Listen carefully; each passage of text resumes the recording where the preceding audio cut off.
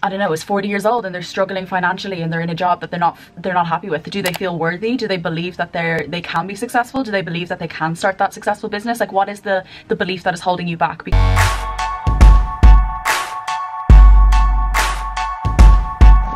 Hi guys, what's up? Welcome back to my channel. So in today's video, it is actually my 21st birthday, right in this current moment, and I wanted to take out the camera and just do a little reflection a little bit. Um, and just record a quick video and asking you, are you proud of how far you've come in life? I think on birthdays, me especially, I get super emotional every birthday. I think since I've been like 12 years old, I've almost cried every single birthday because I just get super emotional. I don't really know why, but I wanted to ask, if it was your birthday today or if it's tomorrow or what it, whatever age it is you are, I want you to ask this question. Are you happy with how far you've come and where you are in your current life? Because your limiting beliefs are a result of your current reality and your current state. So I think on your birthday especially, you do reflect a lot on your life. You're like, wow, okay, I'm this age and I've done this and this. For example, me, I'm 21. I started my coaching business this year and I moved across the world to Canada. I moved into my own place and I've worked so much on my mindset. So I can just, that is something I'm kind of reflecting on and taking into account. And it's what I want to ask you is like, are you happy with your current situation in your current life? Like, is your business struggling? Uh, do you want to grow your business? Like, what is it that you want? Your limiting beliefs is what you want to focus on because it is the core. I think you are probably sick of me saying this, but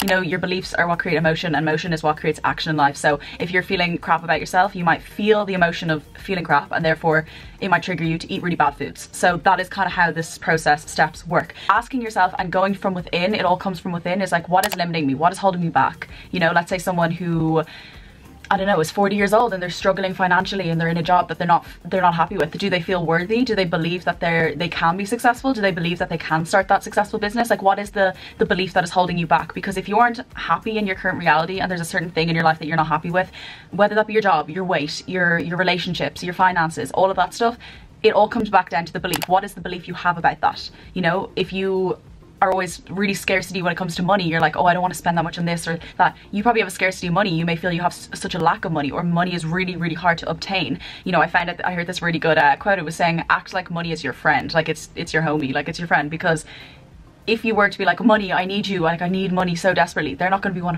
they're not going to want to be friends with you and you go into their level their frequency and just say you know money's coming my way it's chill and you go onto that align yourself in that energy you'll start to be more confident with your actions and therefore more income will come in. So I hope this video helped you out if you are wanting to grow your business or you're wanting to start that business or elevate your business and move your, like get closer to your goals and create a six and seven figure business. You can hire a coach, you can watch more of these types of videos. I have a ton of videos on self-development, motivation, and I myself am a mindset business coach. So I coach you on how to change your beliefs, your mindset, how to execute your day, become incredible executioners, productivity, break all bad habit, habits because obviously your daily actions are what dictate your weeks, your weeks dictate your months, and your months dictate your life and your life is your reality. So I hope you guys enjoyed this video. Have a fantastic day and keep going on your goals. And I love you all so much. I will see you in the next video. Bye.